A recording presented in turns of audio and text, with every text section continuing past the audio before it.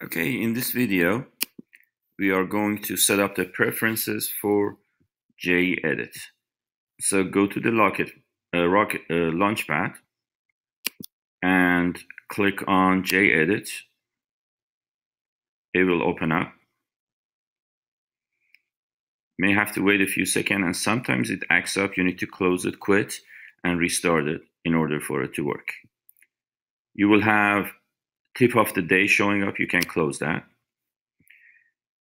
And one thing you want to do is keep the JEdit in the dock, in dock, so you can access it easier than going to Launchpad. So go to Options and checkmark Keep in Dock. Next thing we want to do is go to JEdit Preferences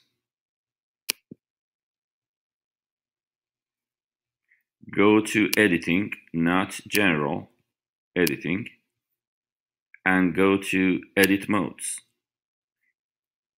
Select Java as default edit mode. When you click in this little um, window, a bunch of options will show up. A lot of them actually will show up.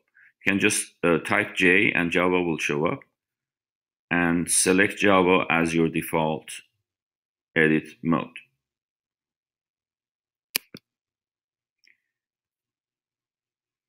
Next thing you want to do is go to mode settings and select 2 for tab width and indent width. If you leave it as 4, it would be just indenting way too much and when you have nested loop for instance, it will be harder to see them on the little window for JEdit. Once you're done with setting these two up, next thing you want to do is change the font size because of the fact that Java programs, um, you must write uh, Java programs with correct syntax. And if you forget to put the parentheses, comma, semicolon, you will get an error. It's a good idea to make the font bigger so you can see what you're typing. In my case, I have changed it to 24. My suggestion is at least at least change it to 18 or more. So click on it and select 18 or 24 plain and then okay. Later on you can go back and change other things like colors. But for the time being please do not change any colors and leave the default colors for everything. Press ok. And you should be done.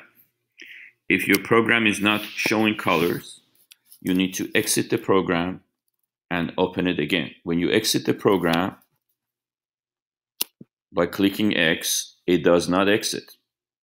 You must click on it and choose Quit in order to exit JEdit.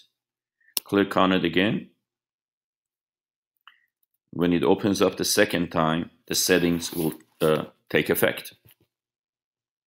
Again, wait a little bit and wait for the close the tip of the day.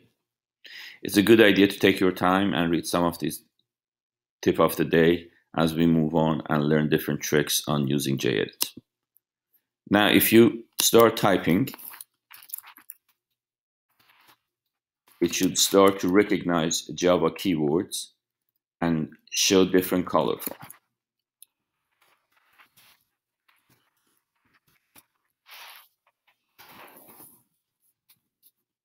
This will conclude our setup for JEdit.